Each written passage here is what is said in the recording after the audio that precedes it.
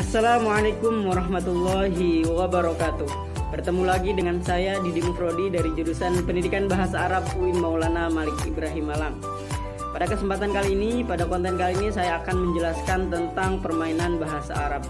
Di mana permainan bahasa Arab yang saya angkat kali ini adalah tentang permainan uh, estafet mufrodat mengenai permainan estafet mufrodat.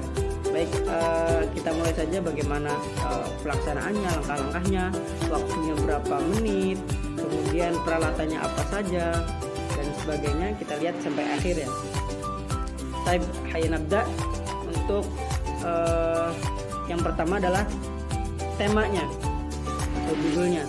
Temanya ya, temanya itu adalah uh, sudah dijelaskan di awal bahwasanya temanya adalah permainan estafet mufrodat permainan estafet mufrodat nah untuk waktu pelaksanaannya waktu pelaksanaannya adalah 30 menit jam pelajaran. Dan untuk apa lagi? Setelah tingkatan tingkatan dari permainan ini adalah tingkatan madrasah ibtidaiyah. Tingkatan madrasah ibtidaiyah.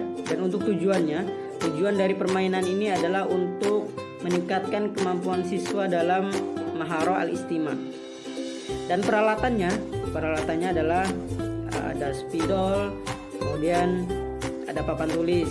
Bisa menggunakan apa namanya spidol kapur ya. Spidol kapur. Jika menggunakan papan tulis kapur kan perlu uh, adanya uh, alat tulis bantu kapur. Nah, itu. kemudian persiapan atau langkah-langkah dari permainan kali ini nah yang langkah-langkah yang pertama adalah guru memberikan pengantar singkat tentang pelaksanaan teknik estafet mufrodat ini kemudian yang kedua anak dalam kelompok diatur dengan berderet ke belakang. Jadi berderet ke belakang, kemudian guru menyiapkan masing-masing satu kalimat, satu kalimat yang mudah untuk dibisikkan kepada setiap kelompoknya. Kemudian setelah posisi anak itu sesuai dengan yang diharapkan, maka guru memanggil memanggil perwakilan dari kelompok itu untuk maju ke depan. Jadi dipanggil perwakilan kelompoknya untuk maju ke depan dan setelah memanggil uh, setelah guru memanggil kelompok apa perwakilan kelompoknya untuk maju ke depan, kemudian guru membisikkan satu kalimat yang sudah di uh, yang sudah disiapkan tadi. Jadi guru setelah uh, perwakilan tiap kelompoknya itu maju ke depan kemudian guru membisikkan satu kalimat yang sudah disiapkan tadi kemudian selan langkah selanjutnya adalah dalam hitungan 1 sampai 3 atau kami beri diberi beri, diberi waktu dulu. Diberi waktu berapa detik ya? 10 detik. Diberi waktu 10 detik. Si anak untuk menghafalkan mufrodatnya. Si anak yang perwakilan tadi untuk menghafalkan mufrodatnya.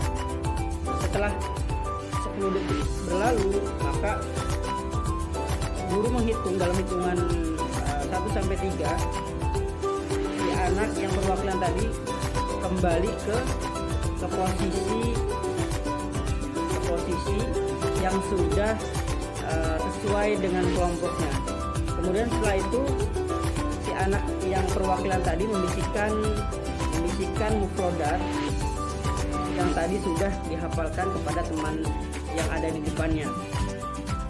Kemudian begitu pun seterusnya setelah mendapatkan mufrodat di dari depan itu yang di depannya menyampaikan lagi kepada yang di depannya lagi. Kemudian di depannya lagi menyampaikan sampai ujung jika sudah sampai ujung, jika sudah sampai akhir, maka si anak yang terakhir, yang terakhir uh, menyampaikan, yang terakhir menerima pesan, menerima mufrodat dari temannya, itu mereka menuliskan di papan tulis. Nah, dari dari situ kan kita lihat, kita bisa lihat mana eh, kelompok mana yang betul tulisannya dan juga yang yang betul uh, apa namanya mufrodatnya ya. Nah, seperti itu. Jadi seterusnya yang menang itu guru memberikan reward kepada siswa yang menang. Kemudian setelah uh, pengaturan dan prosedurnya itu ada manfaatnya. Manfaat dari permainan ini adalah untuk melatih siswa dalam penghafalan mufrodat penghafalan produk. Dan juga yang kedua untuk manfaatnya adalah untuk melatih konsentrasi siswa dan yang keempat untuk melatih refleksi siswa dan kedisiplinan siswa. Dan yang terakhir agar pembelajaran produk tidak terkesan monoton ya. Agar tidak membosankan jadi dibuatkan permainan uh, estafet buku produk ini. Dan untuk kekurangannya dari permainan ini adalah membuat gaduh kelas.